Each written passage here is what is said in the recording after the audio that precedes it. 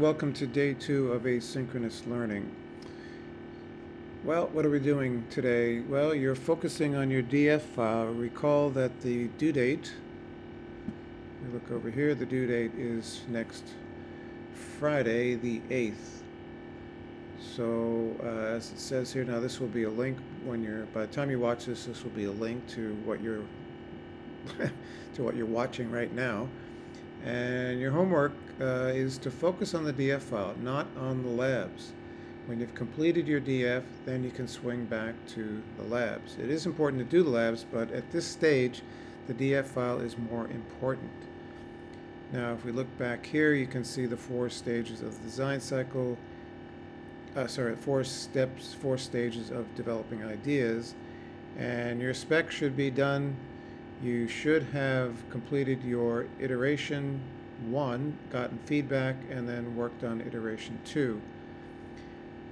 The next step is to evaluate this iteration two against the design spec and show evidence that you each item in the spec is addressed in your sketches.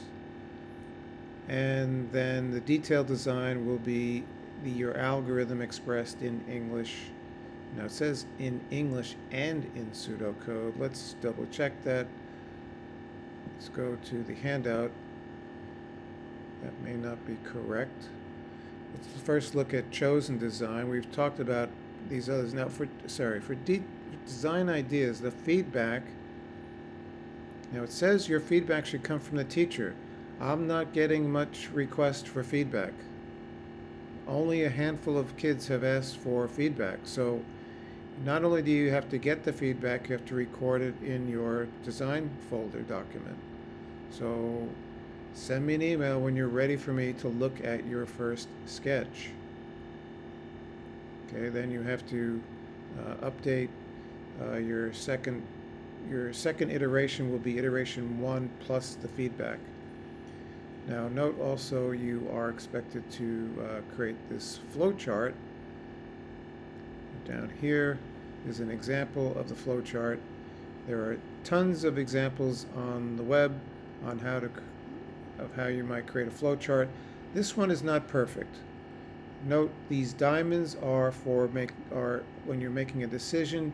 Typically there are two a single into the diamond, usually coming from above, and then two outs, one for yes, one for no. Now if the diamond is asking you know, did they make choice number choice A or choice B? Then you could have an A out and a B out. But since you're asking a question, it's going to be true or false or yes or no. Or so typically two outs on a on a diamond. The uh, the square the rectangular ones indicate some sort of process. Now, there is another shape. I think I mentioned it, the parallelogram which is used for input output. Now this is output. You're displaying something on the screen. If you're expecting the user to enter something from the keyboard, well, that's input to your program. So you'd use the, not the rectangular one, but the parallelogram, which is just a slanted rectangle. Um, all, arrow, all lines should be directional, meaning they should have an uh, arrowhead on them. And typically, there will usually, not usually, there'll always be a single input and a single exit. Now, if you are having a, um, suppose for example, I think I mentioned this in class, you need to get from this box all the way back to here, rather than draw a long circuitous arrow, you can simply, no, I can't draw on this thing, but you could have an out arrow here to a circle, not an oval, well, it could be an oval like this. These are usually circles, um, not ovals. But you have an out arrow to an, a circle here, and the circle would have a number or a letter in it. And then the target location would have a circle up here with an arrow in to this, and the same uh, letter or number that you use down below would appear in here. So it's, it's a jump or go to some other location in the flowchart. Now, I can show you an example of a, flowchart in a minute. So the chosen design, here I think I've mentioned this, you take your design specification, put it in here, and confirm that your sketches and flowchart have addressed each item in your specification. So just copy paste your spec from up here into this table. And then write a short paragraph to evaluate your design against the spec. Now evaluate means to uh, draw some conclusion. Uh, it doesn't mean describe, doesn't mean explain. It means look at the limitations of what you've just done and assess whether or not the design has addressed all the things in your spec. So the chosen design should meet or satisfy the entire spec. You may change the spec at this time if you need to. And then down here lastly is the detailed design and we've talked about this. Uh, here is the algorithm expressed in English. And here is the same logic just expressed differently it's the same English, but formatted as though it were a program. This is not C code, this is not Java code, this is not code, code, code. It's pseudocode, it's fake. It's just an English description of the logic formatted so that it's easier to see the logic and follow the logic. You would pass this off to a programmer and then they would implement it in code. Use Courier New font when you're doing your uh, pseudocode. Now, uh, here's some more examples of pseudocode. Let's take a quick look at an example of work from last semester. Uh, I don't know. Let's pick some. Let's pick Elena. Now, can't find it. Okay, let's pick Dennis. Now, I'm just picking one randomly.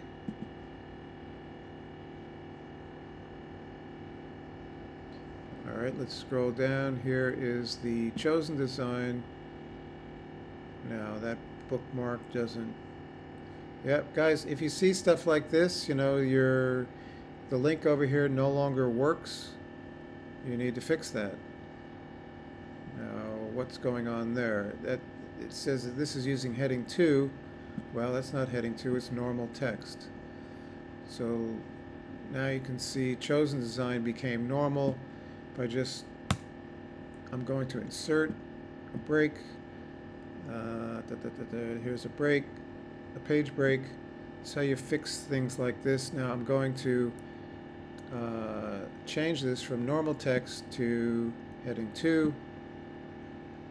And now let's see if it works. I'll, go back to design ideas. Uh, that one's broken too. So guys, please keep your thing working so I don't have to Anyway, this one is now fixed.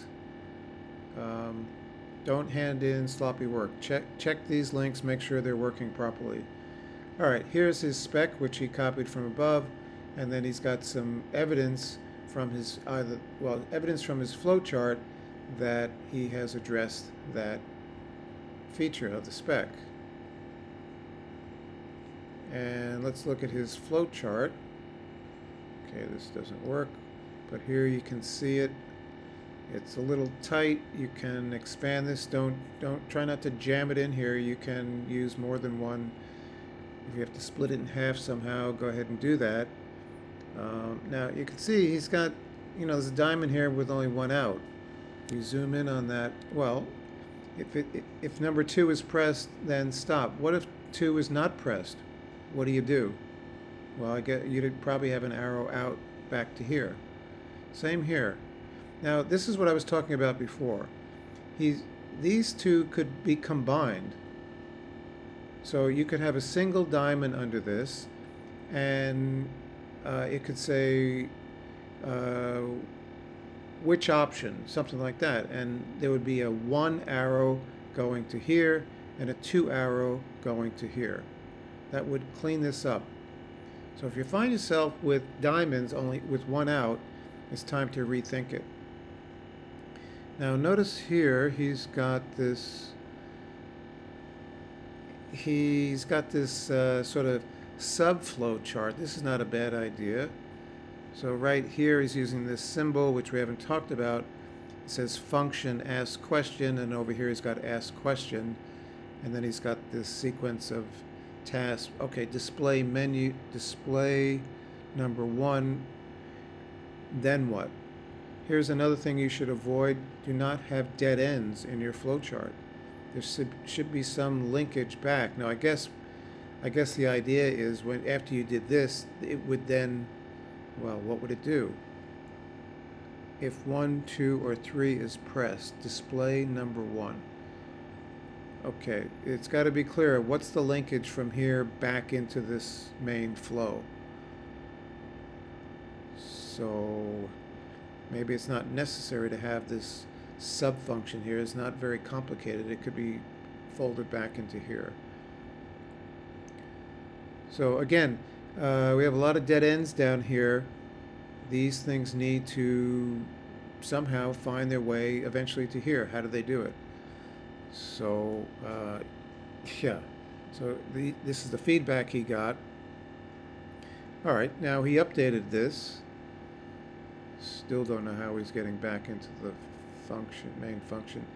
Anyway, uh, there's some good points and bad points in there. Let's just look at one more. Uh, let's look at Audrey's. And here it is. All right, now guys, if you find yourself with these extra headings in here, please remove them. You're not deleting any data from the file, you're just removing these extra links which are not needed. All right, so we want to look at the design ideas. Whoa. Okay, well, here's a handwritten one. Um, this could be improved upon. This is a little, you know, if you're going to do this, take the time to write legibly and, uh, you know, draw nice shapes. Um, so there would have been feedback about that. Okay, it's, is this an improvement? Uh, perhaps, yeah, I guess so. Um, question number 10, there's a yes out, there's a no out, here's the input. Um, yeah, I mean, okay. That's another way to do it. Okay, one more, and then that's it. Ethan. There's Ethan. Again, get rid of these extra headings. Uh, design ideas. All right, now look at this. This is looking nice. Having different colors for the different shapes is not a bad idea. You can see there. Now here's what I was talking about before. On the S output, you go to number one, which is way over here. Okay, now he's, whoa. Ah, this is a this is a no to one. This is go to one. This is go to one. One is up here. So that's the input. It's always nice if you can of, make your your uh, arrows sort of. Uh, this should be sort of a, a out and then down on a right angle. Um, it's just cleaner if if the arrows are moving either horizontally or vertically, but not on angles like this. It's just cleaner. But note how he was able to get this uh, stretched out. It's nice and clean, easy to follow. And note also he's using the parallelogram for I.O. He's only doing that once, it looks like. There's more I.O. going on than that, but he has done it. All right, so I would say this is the best of the three. Go find a tool that creates, uh, you know, notice here you can have an arrow that points at another arrow. That's legal too. So it's pointing here and then going over here. All right, uh, there are lots of tools that can help you uh, create these flowcharts. So uh, that's enough talking from me, guys. If you need feedback, which you do, send me an email. All right, good luck and have a nice weekend.